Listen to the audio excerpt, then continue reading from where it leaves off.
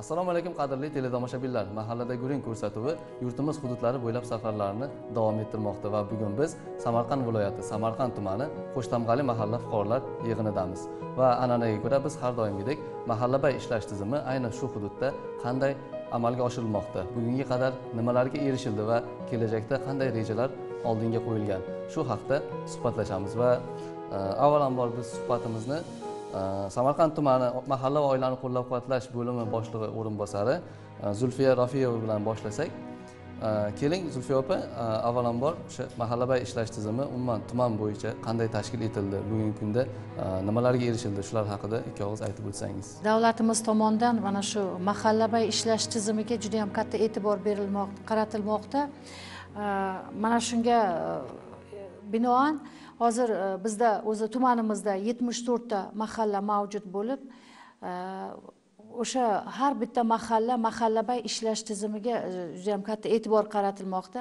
Masalan mana shu yerga yaqin konigil mahallamiz kulolchilik matolarga bezak urish yana zardozlik popurchilik chilangarlik turli xil asboblar yasaydigan ustaxonalar ko'pligi sababli turizm mahallasi bo'ldi. Yana shunday mahallalarimiz bor. Shu juda ham kartoshkachilikka e, katta e'tibor qaratadi. Ular alohida o'zlari masalan sabzavot yetishtirishga qaratadi. Yana shunday mahallalarimiz bor ko'katchilik bilan shug'ullanadi. Mana shu kirib qarasangiz o'zingiz shu ishonchingiz komil bo'ladiki hammasi shu e, qishin yozin ko'kat yetishtirish bilan e, mashg'ul ular. Yana shunday bir mahallalarimiz bor. Masalan e, parrandachilik mahallamiz bor. U yerda faqat shu parrandachilik bilan tovuqchilik bedanachilik yana e, kurka yetishtirish mana shular bilan shug'ullanadigan mahallalarimiz. Demak har bittasi bilan alohida alohida ishlash kerak. E, har bir mahallaga o'sha mahallabay ishlarni tashkil qilishga to'g'ri kelmoqda ekan. Demak tizim ayni paytda o'zini oqlashi kerak. Oqlayapti. Judayam biz mamnun katta bir mamnuniyat bilan aytishimiz sizni ishontiramiz ishontirib aytamizki mana shu bizni tumanimizda judayam e, shu yer bilan tillashib shu oltinga teng yeri e, tuprog'imizdan judayam unumli foydalandi xalqimiz. Bir yilda uch marta ham hosil olib shu o'zini ehtiyoji uchun ishlatib hech qachon nima desam shu bir parcha yerimizni ham bekor qoldirmaydi. Judayam qiziqishlari katta. mirishkor xalq mirishkor xalq judayam e, shu yerga yerni sevadigan shu yerni e, yerga mehr bersa e, yer ham shu xalqni boqadi degan e, nimani judayam katta e'tibor qaratadi. Shu uchun mehnatkash xalqimiz biz judayam faxrlanib buni aytishimiz mumkin. Mana hozir o'sha aholini mirishkorligi haqida gapirib o'tdingiz. Demak biz mana qo'shtamg'ali mahallasidamiz va bu yerga kelib mana mahalla raisi bilan ko'rishganimizda shunday bir yangiliklarni aytib qoldilarki o'sha yoshlar daftariga kiritilgan bir yigitga o'sha fermer xo'jaligi tomonidan e, yer ajratib berilgan. U o'sha bugungi kunda o'zini o'sha yerida aynan siz aytgandek mana kartoshka mahsulotini ekib parvarishlash e, niyatida bu yil o'sha katta rejalari bor ekan. Demak keling hozir biz o'sha e, borib o'rgandik. U yerdan bir video lavha tayyorlaganmiz. Shuni teletomoshabinlarimiz e'tiboriga havola qilsak.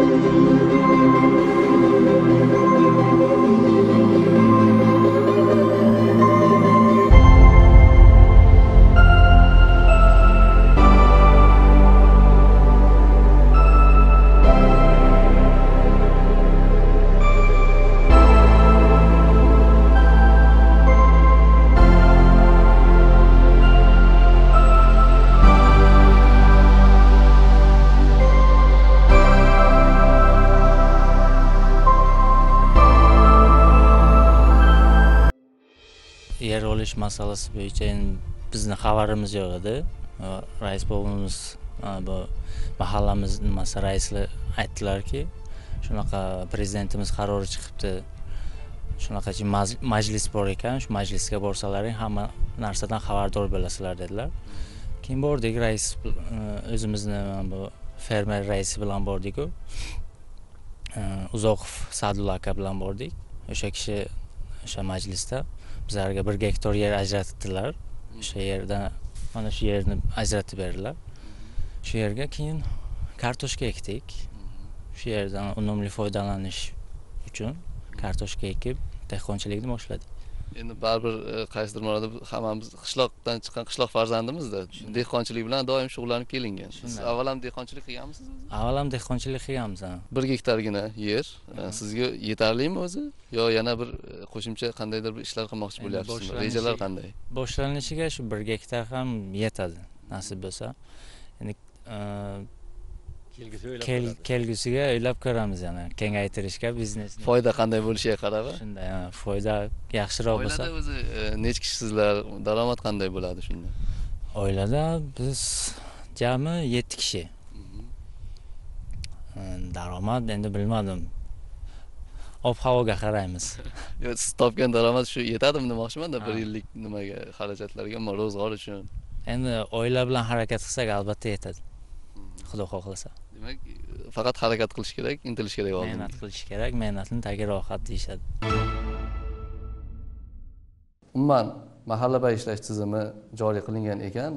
Siz mana xalq vakili sifatida shu yerdagi aholini yaxshi o'rgangan bilgan e, bir e, deputat sifatida o'zingizni fikrlaringizni aytsangiz shu yerdagi aholi nimani istayapti va e, hukumat ularga nimalarda yordam bera oladi? Men o'ylaymanki bu mahallabay tizimi juda o'z vaqtida bo'ldi deb o'ylayman sababiki mana shu mahallamiz fuqarolari faollari bilan uchrashib mana shularni dardini eshitib bularni fikrini tumanimiz hokimligida yoki yuqori tashkilotlarga olib chiqib bularni muammosini iloji boricha so'rovnoma asosida hal qilib berishga harakat qilganmiz.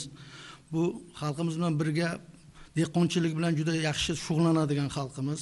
Uyma uy yurib birga har bir xonadonlarni holidan xabar olib birgalikda mahallabay tizimiga ishni davom ettirib bormoqdamiz. Hozirgi vaqtga mana shu yoshlarimiz daftarga kirgan yoshlar daftariga kirgan mana xotin qizlar daftariga kirganlarni ish bilan ta'minlashga harakat qilyapmiz birgalikda. Bu davom etmoqda. Xudo xohlasa hammasini ishga joylashtiramiz. Hozir aytgandaki mana shu yosh yigitimizga yigirma besh sotixdan har biriga yer ajratib berilgan. Bular dehqonchilikni boshlagan. Bundan keyin qolganlariga mana shu narsa davom etaveradi. Masalan bizni dehqonlarimiz bir yilga uch marotaba to'rt marotaba ham hosil ola oladi ularga mana tadbirkorlikni rivojlantirish masalasi bo'yicha yo'l ochiq subsidiya asosida nimaga kirganlarga subsidiya asosida nima beriladi? Mablag' qolganlarga tadbirkor rivojlantirib parnik yasaydimi issiqxona mana shularga yo'l ochiq. Hamma vaqt tumanimiz banklari tomonidan bularga ajratiladi. Ularni kelajagiga o'zini yo'lini topishga ravnaqi uchun harakat qilamiz. Birgalikda bamaslahat mahalla fuqarolar yig'ini bilan mana shu faollar bilan ishni davom ettiramiz. Endi ilgari ham bor edi bu masalalar.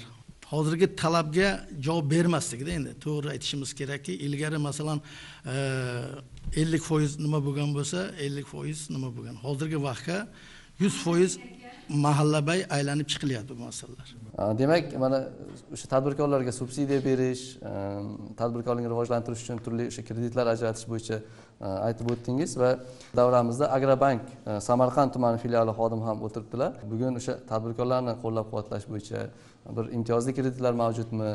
Qaysi yo'nalishlarda bir tadbirkorlar yoki tadbirkorlik bilan shug'ullanmoqchi bo'lgan aholi qo'llab quvvatlanadi bugungi kunda. Muhtaram prezidentimizning e, qirq to'rt to'qson sakkiz qaroriga asosan tadbirkorlarni qo'llab quvvatlash ayni paytda yoshlarni e, tadbirkorlikka jalb qilish e, ayollar daftarida turgan ro'yxatdagilarga kredit ajratish bo'yicha keng chora tadbirlar ko'rib borilmoqda.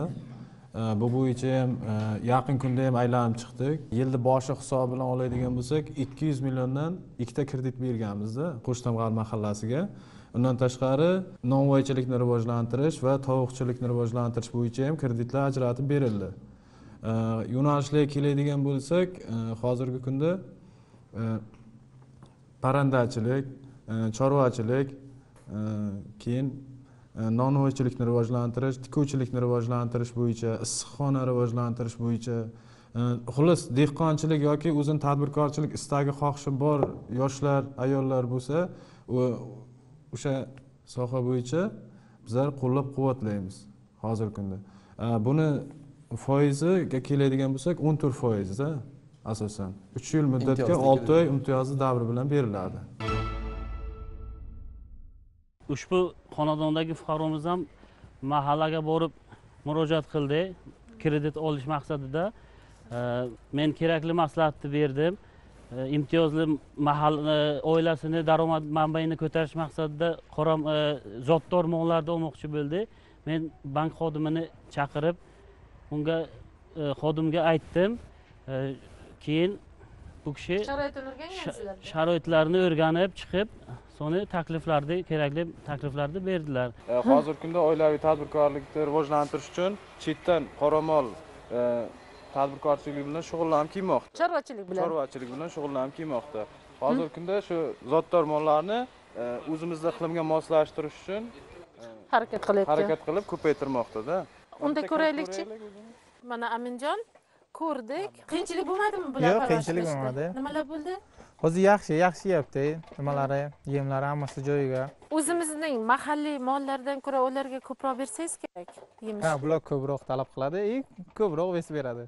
Ha, demak o'zgarishini ham tez ko'rsatadi. yana nima qilmoqchisiz? Nasib bo'lsa mana biz ko'paytirib mana parrandachilikda ham. Nasib bo'lsa yo'l qo'yapmiz asosida asosida bular mahalliy tovuqlarmi yoki mahalliy tovuqlar mahalliy tovuqlar shu tuxum uchun. Tuxum go'sht uchun go'sht uchun aholiga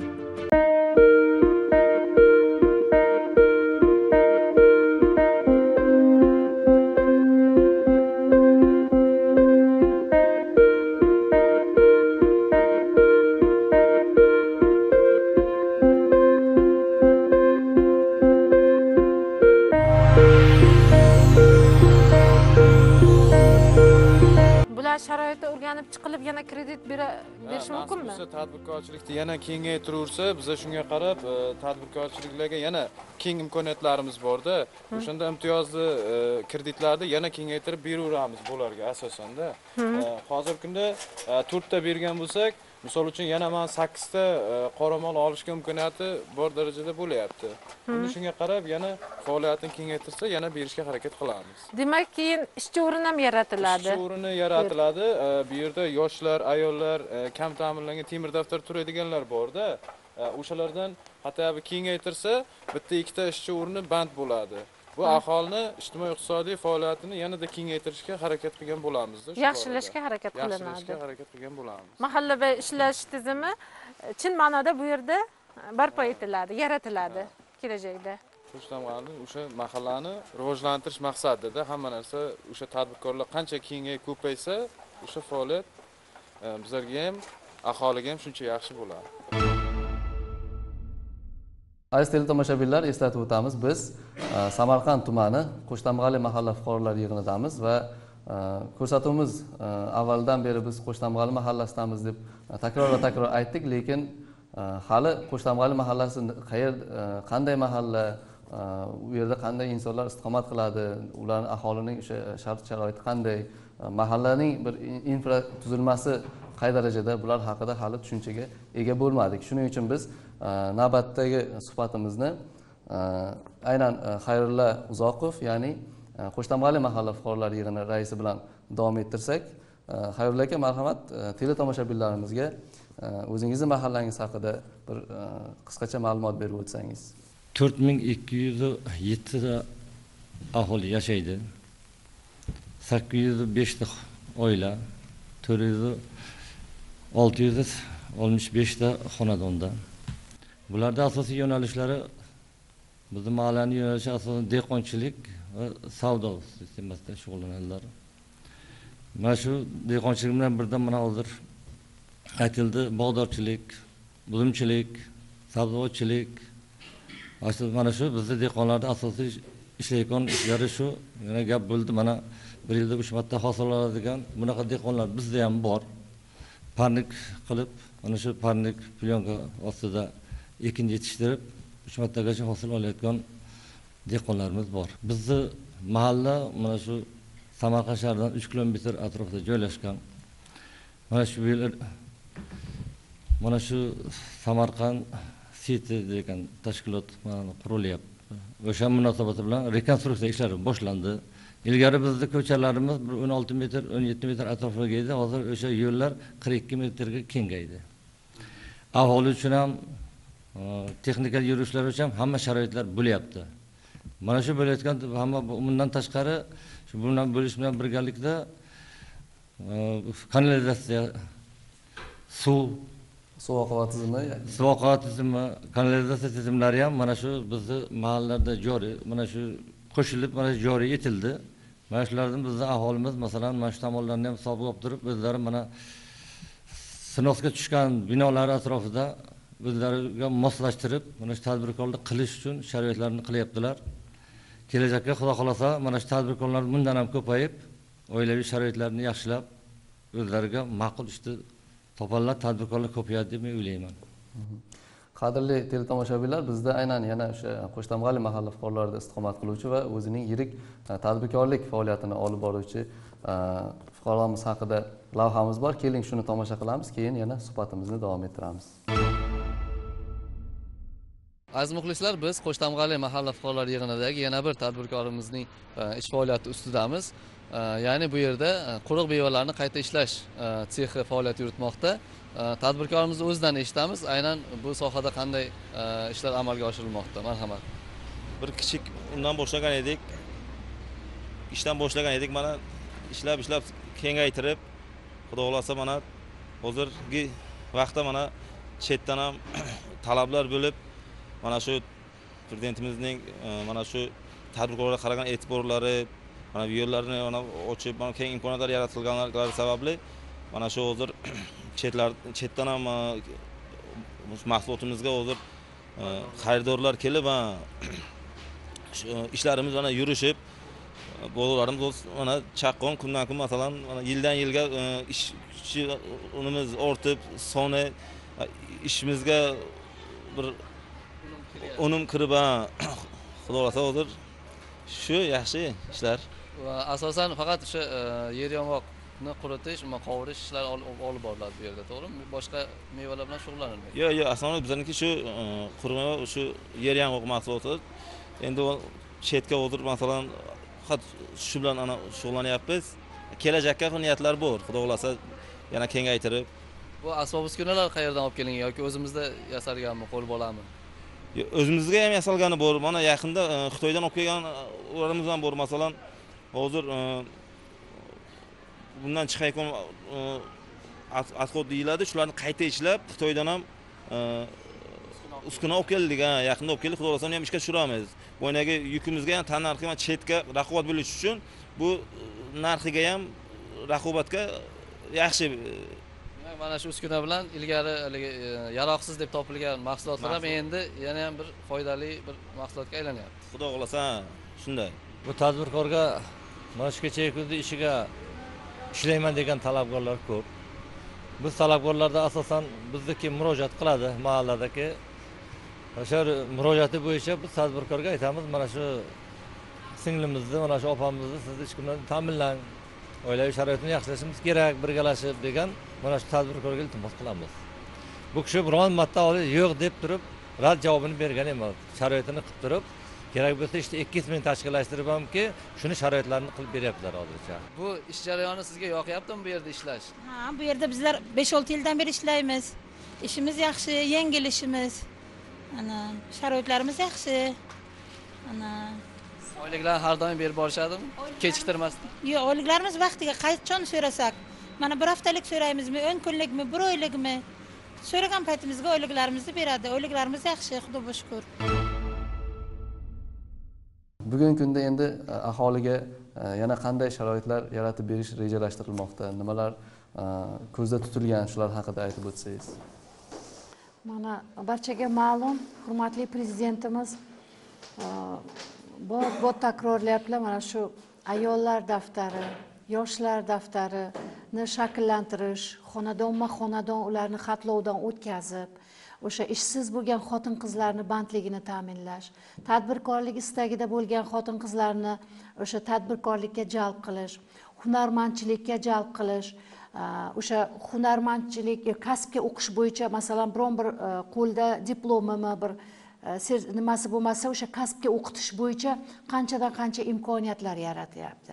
Shuning uchun mana o'tgan yili shu oktyabr oyidan boshlab shu xonadonma xonadon yoshlar daftari bo'yicha ayollar daftari bo'yicha jami mana shu tumanimizda ellik bir mingdan oshiq shu xotin qizlar xatlovdan o'tkazilib shundan qirq ming qirq uch nafari mana shu xatlovdan o'tkazildi.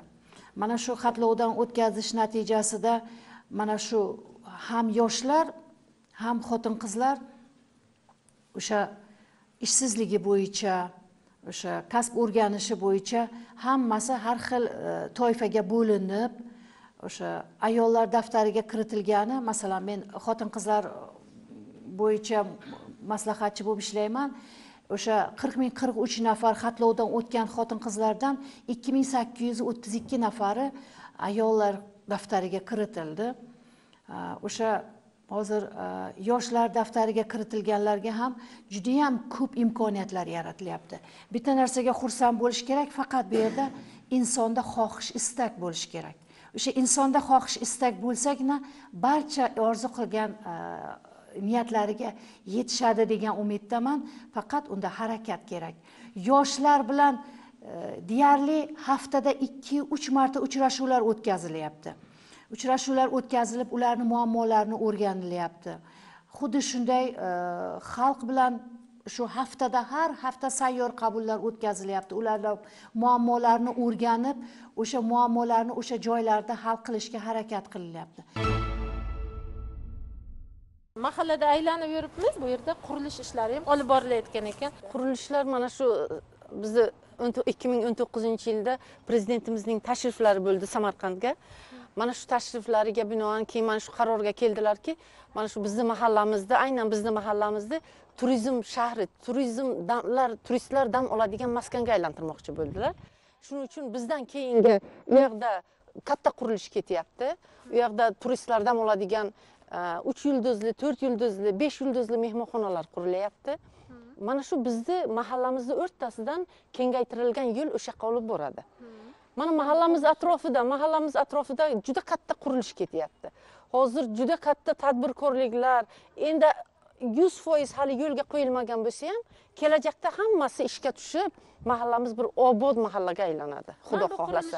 mana u qurilish mana shundagina ko'rinib turgan qurilishimiz bu sutni qayta ishlash e, korxonasi bo'ladi. Ana pishiriq pishirish e, korxonasi. Kattagina mana shunaqa korxona уже boshlangan edi. Endi snos snos bo'lganligi sababli ozgina keyinga qoldi. Mana hozir qurilyapti xudo xohlasa bitkaziladi. Mana yana bitta tadbirkorimiz mana bu yerginada axtam va nigina qizimiz. Tikuv sexi ochgan go'zallik saloni ochgan. Yana mana bunday oldingi oldingi qismida e, dorixona ochmoqchi.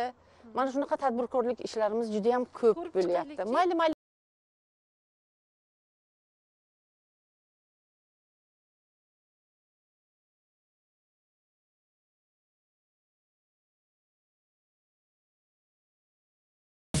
Assalomu alaykum. Assalomu alaykum. yaxshimisiz? yaxshimisizlar yaxshi sizlarmi sizlar yaxshimi yaxshi ishlayapsizlarmi? yaxshi. O'tiring. Keling opajon keyin yorug'xonada ish boshlabsizlar ha charchamanglar oilaviy tadbirkorlikdan boshlagansiz. Kredit olishda hech qanaqa muammo bo'lmadimi? Hozir mahallada ishlash tizimida yordam berishyapti kredit oladiganlarga avvalambor turmush o'rtog'im bilan maslahatlashib ish boshladim. Uchta farzandim bor. Baribir qiyinchilik bor hammada hozir. Mahalla borganimga yordam beramiz. Kelinglar birgalikda ishlab. Hozir nima borku? Kelajakka yoshlarga talab kuchliku. Shuning uchun shundan imkoniyatdan foydalanib ish boshladim opajon. Kreditlar vaqtida olgansiz endi kamroq bo'lsa ham o'zimizni nimamiz hissamizni ham qo'shganmiz hammasi bo'ldi. Bizda mana bunaqa mana shu niginaxonga o'xshagan yoshlarimiz juda ham ko'p. Juda ham ko'p. Xudo xohlasa albatta kelishyapti. Bank xodimlari birgalikda ularga qo'limizdan kelguncha yordam beryapmiz kredit olishlariga. Harakat mana niginaxonam yana ham kengaytiraman deyaptilar. Yana ham kengaytiraman. Yonida dorixona ochish istaklari bor niyatlari bor o'sha dorixonani yo'lda qo'yishga hali e, baribir e, kredit kerak bo'ladi. Kredit olib shuni yana kengaytirish istaklari bor. Aziz teletomoshabinlar e, mahallabay ishlash tizimi bu nafaqat umuman hokimiyat vakillari umuman mansabdorlarning o'rganishlari balki bu yerda bevosita aholi bilan muloqot tarzida tashkil etilishi kerak albatta. Va mahallada guring ko'rsatuvining e, maqsadi ham aynan shu. E, faqatgina e, rahbarlar yuqoridan ma'ruza yoki yuqoridan bir topshiriqlar emas aholini aynan so'zlari tinglash bizning asosiy maqsadimiz. Demak hozir aholi vakillariga mana qo'shtamg'ali mahalla fuqarolar yig'inining faol fuqarolari bugun davramizga yig'ilishgan keling ularning takliflarini fikr mulohazalarini bugungi kundagi mahalla Э, o'zlarini yashab turgan hududlarni rivojlantirish bo'yicha э, bir g'oyalari bo'lsa tashabbuslari bo'lsa ularni eshitib qolamiz. Marhamat. Assalomu alaykum. Man ushbu mahalla fuqaro yosh fuqarosiman va shu paytgacha yoshlar daftariga ro'yxatga turardim. Mahallamiz ko'magi va xotin qizlar raisligi tomonidan menga tadbirkorlik bo'yicha qo'shimcha bilim olish uchun yo'llanma berildi. Va shu asosda man hozir samdu huzuridagi agrobiotexnologiya texnikumi talabasi bo'lib o'z bilimimni kuchaytirib bormoqdaman.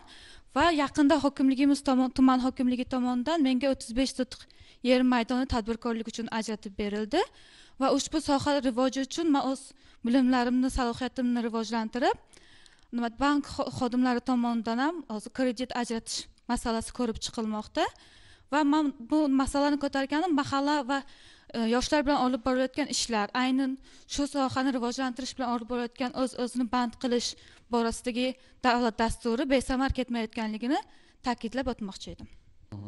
Demak o'sha bevosita mana shu e, jarayonlarni o'z boshidan ishlar o'z kechirgan samarasini ko'rsatib bormoqda. Mhm. qaysi masalan o'ttiz besh sotik yer e, u ekin tikin uchunmi yoki o'zingiz bir boshqa tadbirkorlik bilan shug'ullanmoqdamisiz o'ttiz besh bu yer maydonida man asosan hozirgi polikarlik mevali daraxtlar yetishtirish maydonini bog'dorchilik bilan shug'ullanmoqchiman va shu soha bo'yicha agronomiya sohasida o'qib shu soha rivojiga o'z hissamni qo'shmoqchiman. Mhm. demak mana xayrilla aka o'zingiz aytganingizdek mana shu mahallamiz mirishkor deganingizdek e, mana yoshlar ham aynan o'sha dehqonchilik agronomlik sohalariga qiziqishadi. Bog'dorchilik bilan. Rahmat yoshlarimiz shu yerga e'tiborsizligi qiz bola bo'lsa ham mana shu yer olib dehqonchilik bilan shug'ullanishni bayon qilyapti. Demak asosiysi o'sha o'zida bo'lgan tashabbus istak ishtiyoq xohish istak bo'lganligidan aniq dalolat beradi. Bizni mahallamiz asosan qishloq xo'jaligi yana savdo sotiq xizmat ko'rsatish. Mana mana bunaqa e, hozirgi qurilishlar bo'yicha ko'proq xizmat ko'rsatish bo'lyapti ishimiz savdo nimalar do'konlari savdo sotiq markazlari asosan qurilyapti. Hozirgi qurilish mana yo'l yoqasida qurilayotgan binolarimizning hammasining birinchi qavati asosan hammasining birinchi qavati savdo markazlari. Har xil ana tadbirkorlik korxonachalari kichik kichik korxonalar qurilyapti desak xato qilmaymiz. Kelajakda ko'plab hozir ozroq hozir hozir ozgina ozroq.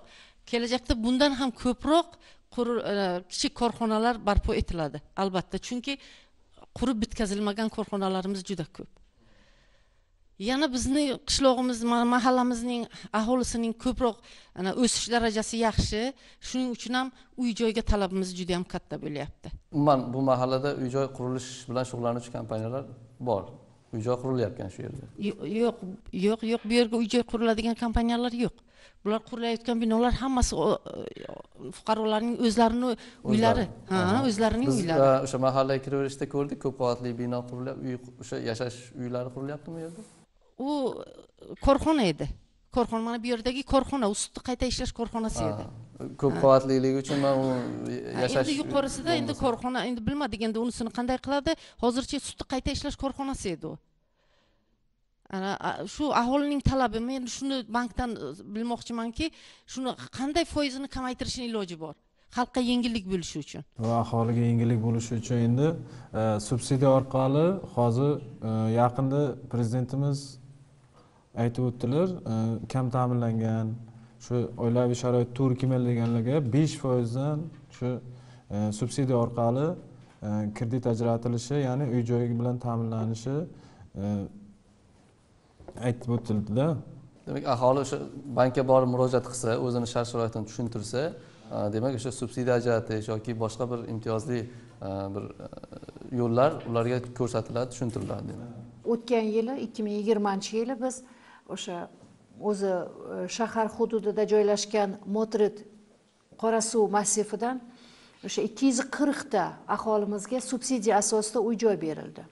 Subsidiya berishni nimasi o'n foizini fuqaro o'zi to'lasa o'n foizini davlat o'zi to'lab berdi yana besh yil davomida subsidiya ya'ni o'sha ma'lum qism foizini davlat o'zi to'lab berdi bu ham o'sha odamlarni o'sha o'sha uy joyga bo'lgan ehtiyojmand aholini shu uy joy bilan ta'minlanishiga katta bir imkoniyat deb o'ylayman mana bu yil ham nasib bo'lsa hozir mana shu mart oyini oxiridan boshlab mana shu subsidiya ah, ah, asosida uy joy berilish boshlanadi.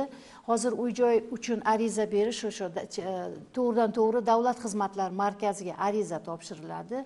Undan keyin shu komissiya asosida ko'rib chiqilib subsidiya asosida uy joy beriladi. Sizlarga bitta iltimosim bor. Men oddiy kolxozchiman pensionerkaman. Бывший mana pilla boqarchi edim. Hozir pensiyagaman kam ta'minlangan oiladanman deb ishonaman. Xayr shunisiga ham shukur. Viloyat bo'yicha obod mahallalardan deb hisoblayman mahallamizni faqat bizga ikkita narsa yetishmaydi. Shuni mana deputatlarimizga va ijtimoiy jamoatchilardan iltimosim bor. Bizga birinchi ochratda zamonaviy poliklinika kerak. Ikkinchisi bolalar bog'chasi. Agar imkoniyat bo'lsa siz o'zingiz uyingizda o'sha uy bolalar bog'chasi ocha olasizmi? Qila olaman. O'zimni aslida kasbim medik Э, o'rta maxsus nimaman pensionerman. Э, yonimga yana bir ikkita yoshlar bor shuni menga даже taklif ham qilishgan. Lekin mana u sharoitim to'g'ri kelmaganligi uchun qilmagan.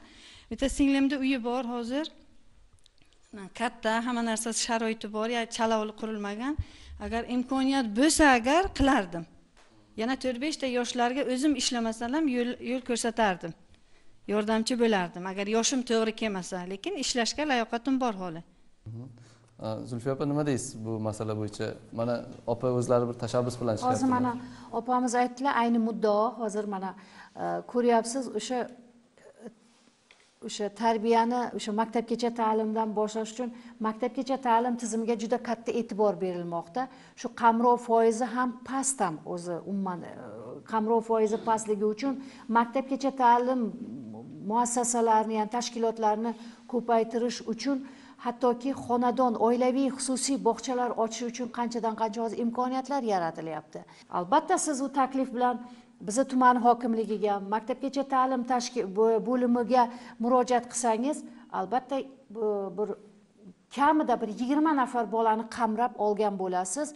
Ham onalarga imkon bir katta bir sharoit yaratgan bo'ladi. Ham siz moddiy tomondan uydagi keliningizni qizingizni ish bilan ta'minlagan bo'lasiz. Albatta opamiz borsalar bularni mana shu maktab o'sha e, e, uy bog'cha ochishda albatta o'sha tuman hokimligi o'sha mutasaddi tashkilotlar bilan sizga yordam beramiz. Yana bitta narsa pilla boqishni juda yaxshi ko'raman pillachi bo'lganman. Joy bo'lsa agar hokimiyat agar joy bersalar sharoit qilib bersalar kam foizlarga kredit bersalaring boshimga shu maslahatni olib yaxshi bitta chiroyli pillaxona ham qurardim. Ko'p mana aholidan takliflar g'oyalar tashabbuslar ko'p. Faqat buni qo'llab quvvatlash kerak chiqamiz birgalikda. Tuman hokimligimiz bilan o'sha sharoitdan kelib chiqqan holda sizga albatta yordam juda yam aktual muammoni bu kishi chiqardilar.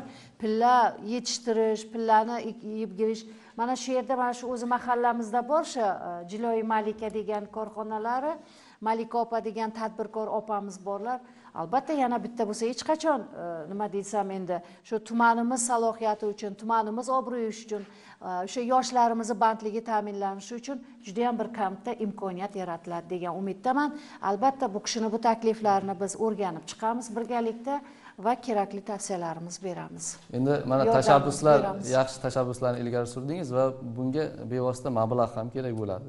E, bir narsani aytishimiz mumkinki bugungi kunda o'sha har bir bankda aynan ayollar tadbirkorligi bo'yicha shug'ullanish e, maqsadida e, o'sha bank boshqaruvchisining ayollar tadbirkorligi bo'yicha o'rinbosarlari joriy lavozimi joriy qilingan va menimcha nurbek aka agrobankda ham e, bunday lavozimdagi faoliyat yuritayotgan o'sha opalarimiz bor. Ular bevosita yordam bera oladilar birgalikda opa bilan yordam berib ko'rib anaqa qilamiz lekin bitta narsani ham hisobga olib qo'yish kerakda uy bog'cha ochish uchun avval litsenziyani olishi kerakda bu kishi.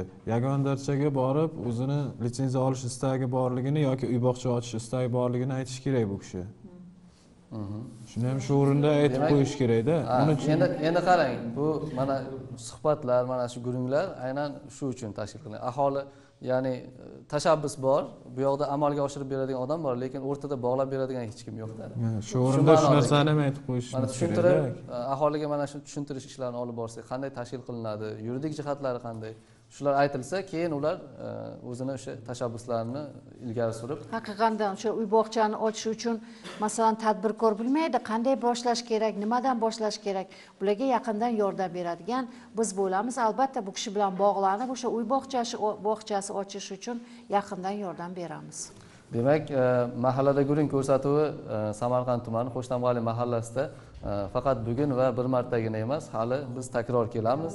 Э, bu yerda э, bugungi rejalar bugungi amalga oshirilayotgan ishlar qay darajada amalga oshirildi keyingi rejalar qandayligi haqida biz bu yerda yana bir ko'rsatuv tayyorlash niyati tug'ildi hozir o'zidayoq keling yana aholi vakillariga yuzlansak yana bir takliflar mulohazalar bo'lsa bildirsangiz mana mutasaddilarimiz o'zlarini fikr mulohazalarini bildirib borishmoqda. Men Samarqand tuman Qo'shtamg'ala mahallasida yashayman. Ismim Yusuf, e, familiyam Nizomov. Shu Samarqand tuman Qo'shtamg'ala mahallasiga bir bolalar o'ynaydigan stadion bunaqa narsalar yo'q. Maktabniki bor, u qaramas holga kelib qolgan. Ha shu og'ir bir o'zimiz o'ynaydigan darajaga yo'q. Yo'q, ha, zamonaviy bir chiroyli bo'lsa agar bir chiniqib o'ynasak, hozir prezidentimiz shuni aytsaga suniy ichimli stadionlar qurilgan hozir prezidentimiz shuni aytsaga immindan sport uchun hozir berilashganlar shu bizlarga yo'q bizlar borib o'zimiz pul bilan o'sha shaharga o'ynab kelamiz. Yo'q. Mana shu yerlarga yo'q. Bir sharoit bo'lsa agar shuni demak uni misol uchun qaysidir tadbirkor ham e, bir e, tashabbus bildirib shu yerda men shunaqa qurmoqchiman deb aytsa ham bo'ladi misol uchunda siz o'zi shu mas'uliyatni bo'yingizga ola olasiz. Man Men mana ola shu- olaman, mana shu yerda yer bersanglar shu yerga men stadion quraman. Yo endi men mablag' tomonidan sal mablag' tomonidan mana bank turibdi e, boshqalar mablag' tomonidan chim setka petka hammasini biza qo'llab bo'lmasa men bunaqasiga o'zim qilaman meni yon katta akam bor. Shu akam bilan birgalikda shu mahallani hozir biz e, komitetimiz bo'yicha qo'yilgan vakillari shu kishi o'zi bizlarga ko'cha boshi emas e, sport bo'yicha qarovchi bizlarga shu odam.